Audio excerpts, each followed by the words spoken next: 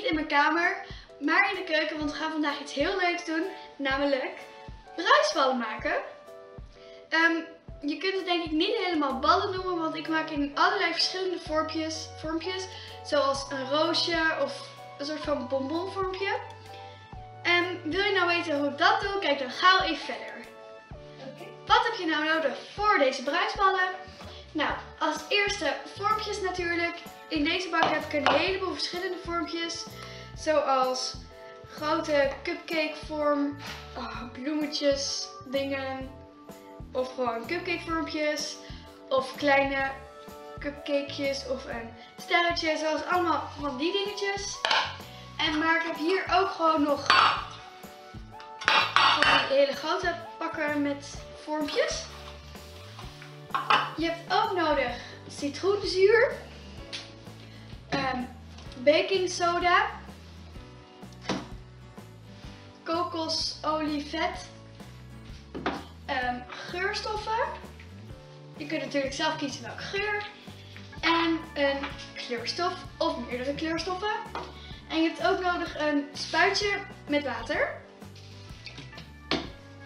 Je hebt natuurlijk ook nog gewoon normale dingen zoals bakjes of een lepel of een weegschaal of zoiets nodig. Oké, wat je als eerst gaat doen is je gaat 150 ehm, gram citroenzuur en 300 gram baking soda samen in een schaal doen. Je hoeft natuurlijk niet precies deze hoeveelheid te doen, maar waar je wel moet letten is dat je ehm, de helft aan citroenzuur doet van de hoeveelheid die je in baking soda gebruikt. Dus ik doe nu 300 gram baking soda in mijn bakje.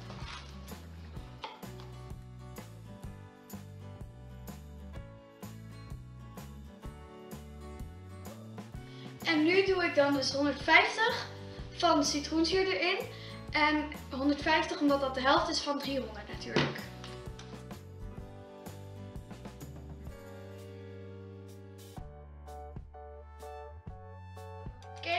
Ik heb het even in een grotere bak gedaan, zodat ik het makkelijker kan roeren. Want dat is wat we nu gaan doen. We gaan deze citroenzuur en die baking soda even goed door elkaar roeren.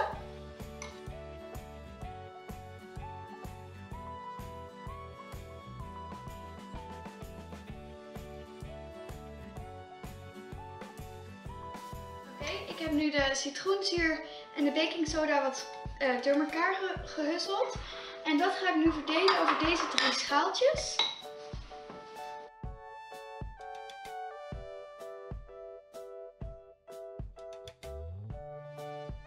Zo, dat heb ik gedaan. Ik zit nu in um, alle drie de bakjes ongeveer evenveel. En wat we nu gaan doen, um, is we gaan geur- en kleurstoffen toevoegen. En wat je hierbij moet doen is dat je als je het toevoegt snel moet gaan roeren, want anders gaat het al bruisen zoals het, wanneer het in het bad stopt. Dus dit moet je snel achter elkaar doen. Maar wat we als allereerst nog gaan doen is uh, deze kokosvetolie, um, dat gaan we er ook nog hier aan toevoegen. Maar ik heb het in een pot gekocht en dan is het nog hartstikke hard. Dus dat kun je niet vloeibaar toevoegen. Dus ik heb een beetje in een bakje geschept. En dat ga ik nu even in de magnetron doen. Zo, het is vloeibaar nu.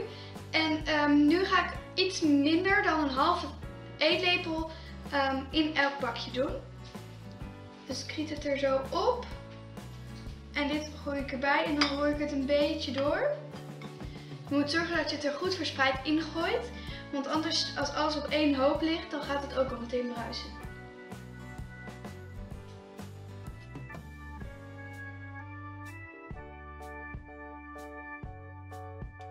Oké. Ik heb het kokosvet toegevoegd. En nu gaan we de geur- en kleurstoffen toevoegen. Ik wil een variant met um, lavendel en blauw. Dus die zet ik even apart. En eucalyptus en groen. En die oranje die doe ik denk ik ook nog bij lavendel. Dus dan heb ik drie verschillende uh, soorten in drie verschillende bakjes. Dus um, wees ook bij het toevoegen van de geur- en kleurstoffen voorzichtig met alles op één hoop gooien, want dan ehm, gaat het bruisen. Dus ik leg het even een beetje zo. de paardkoppels is echt wel genoeg.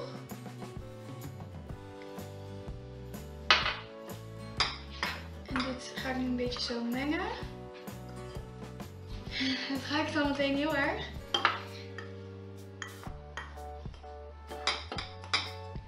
Zo, en dan zeker van de kleurstof hoef je echt maar heel weinig te doen.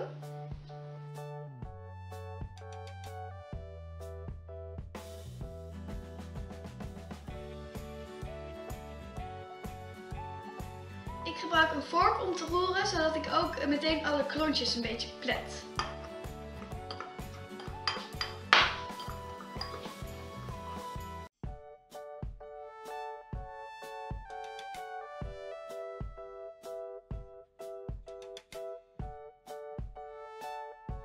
Nog niet zo'n hele mooie kleur, dus ik doe nog iets meer blauw erbij.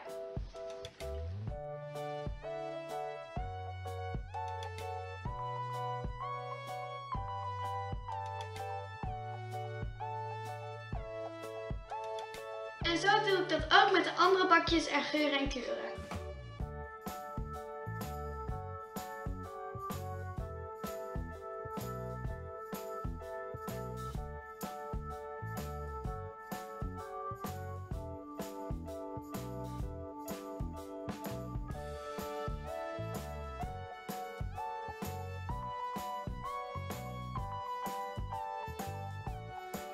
Ik heb ehm, alles gemengd. En wat we nu gaan doen is we gaan er water aan toevoegen. Maar als je ehm, heel veel water toevoegt, gaat het natuurlijk helemaal bruisen. En dan kan je het gewoon weggooien. Dus wees hier voorzichtig mee. En spuit vooral van ver af, zodat je niet hele dikke druppels op je mengsel krijgt. Ehm, dus wat ik ga doen, is ik spuit zo een beetje van ver af. Zo komt er een beetje water en ik zie al meteen dat het helemaal gaat bubbelen en zo. Dus dan moet ik het goed door roeren. Dat doe ik even lekker met mijn vingers.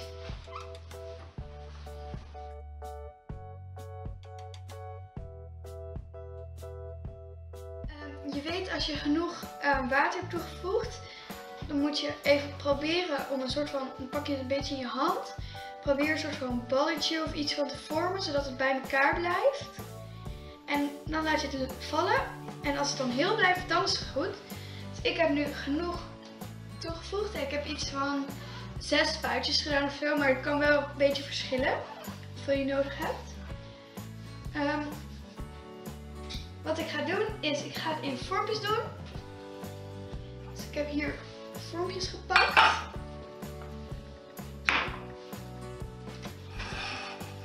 Zo. En uh, ik wil ook proberen om het in laagjes te doen. Dus dan doe ik nu een laagje blauw en dan een laagje groen en dan een laagje oranje of andersom. Dus dan doe ik, het, doe ik er een beetje in. En dan doe ik het een beetje plat. Een beetje in deze.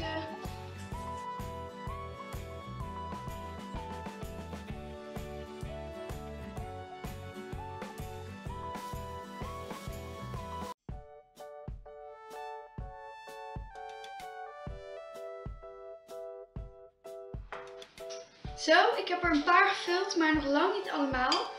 En nu ga ik ook even deze met water bespuiten en deze, zodat ik ook makkelijker kan mixen.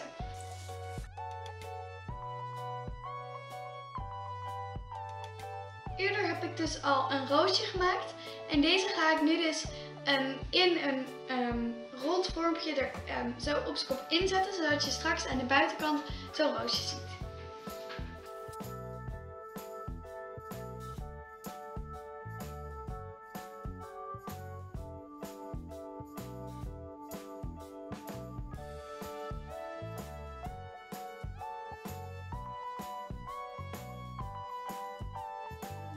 Klaar, maar nu is het gewoon een kwestie van wachten. Je kunt het in de koelkast zetten of in de vriezer, maar je kunt het ook gewoon zo op de aanrecht laten wachten.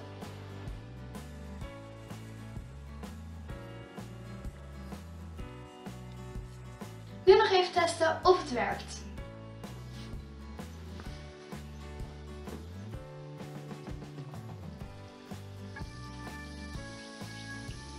Nou, dit was alweer de video. Hopelijk vond je hem leuk. Vergeet zeker niet om op het duimpje omhoog te klikken en klik op abonneren. En vergeet ook niet om de video's van de andere knipgirls te bekijken, want die zijn ook echt super leuk.